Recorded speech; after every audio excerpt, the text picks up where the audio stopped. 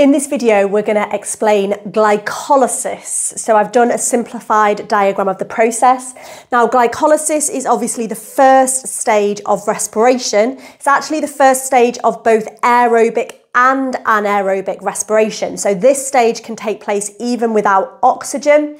And glycolysis, let's just write it over here, it occurs in the cytoplasm not the mitochondria. And as I say, it's the first stage of both aerobic and anaerobic respiration.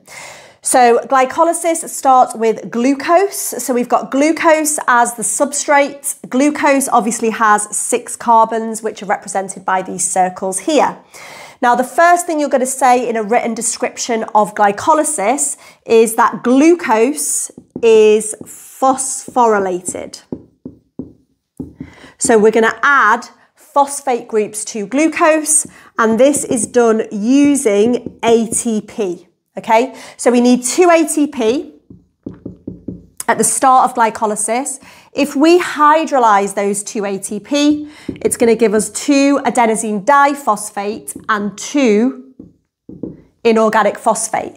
And it's these two inorganic phosphates that we're going to use to phosphorylate the glucose. So we're literally going to take those two inorganic phosphates, which I've shown as these black circles here, and we're going to add them on to our glucose. So this, we can just call it phosphorylated glucose. We phosphorylated the glucose. So that's nice and easy to remember. Or you can call it hexose bisphosphate as its actual name, hexose bisphosphate, but it's fine for AQA to just call it phosphorylated glucose. So that's the first stage and the first thing you can get marks for. We use 2-ATP, we hydrolyze them, and we use the two inorganic phosphates to phosphorylate the glucose, producing phosphorylated glucose. Now, we phosphorylated it, so it's really unstable. So the phosphorylated glucose is going to break down immediately into two molecules of triose phosphate. And we do need to be able to name this molecule. So we've got two triose phosphates. You can see we've literally just split this because it was so unstable. So each triose phosphate, you've got three carbons and you've also got a phosphate group. Okay, now, what's going to happen to the triose phosphate? We need to say a couple of things. So the triose phosphates, which are here, are oxidized. And remember, oxidation is loss. So when we say they're oxidized, they're actually losing hydrogen. And that hydrogen is going to be accepted by a coenzyme called NAD. So that NAD, when it accepts the hydrogen, it's going to form NADH. Or you can call it reduced NAD because it's gained hydrogen. And that step is really important for marking points. So we say the triose phosphate is oxidized or it loses hydrogen, it's dehydrogenated, and the NAD is reduced or it gains hydrogen. So we're forming two molecules of NADH. We're also going to make two molecules of pyruvate, one, two. Each pyruvate contains three carbon. So in terms of end products, we've made two molecules of pyruvate and we've made two reduced NADs or NADHs. What's missing is that in this step here, between triose phosphate and making pyruvate, we also make four ATP.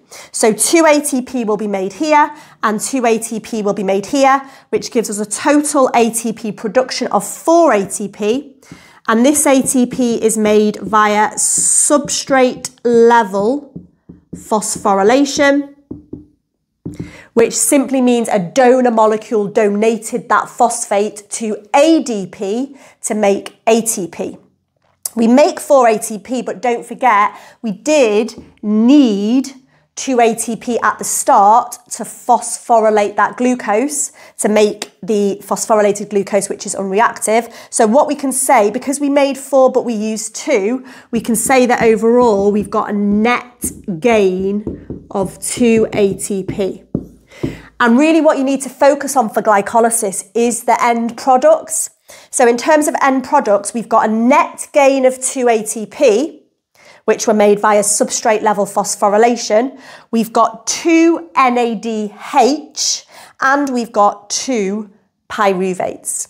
Now I've simplified this quite a lot. To be honest, you could even simplify it further, key marking points are going to be for phosphorylating glucose using ATP, the oxidation of triose phosphate, the production of reduced NADH and pyruvate, and the net gain of 2 ATP by substrate level phosphorylation. All of this is happening in the cytoplasm in both aerobic and anaerobic respiration.